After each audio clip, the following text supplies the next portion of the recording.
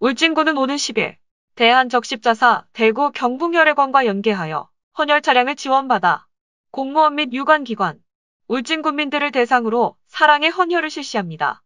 이번 사랑의 헌혈은 오전 9시 40분부터 12시까지 울진경찰서에서 실시되고 오후 1시부터 4시까지는 울진군청에서 진행됩니다.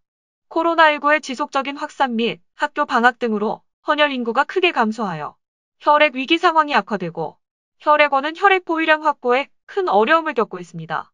혈액은 인공적으로 만들 수 없으며 대체할 물질이 존재하지 않아서 수혈이 필요한 환자의 생명을 구하는 유일한 수단이며 살아있는 세포로 구성되어 있어 장기간 보관이 불가능하여 지속적이고 꾸준한 헌혈이 필요합니다.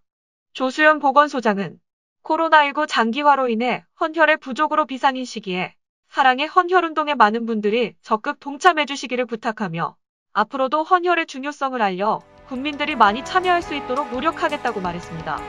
울진 방송 단신이었습니다. Ulgin Media Network Channel.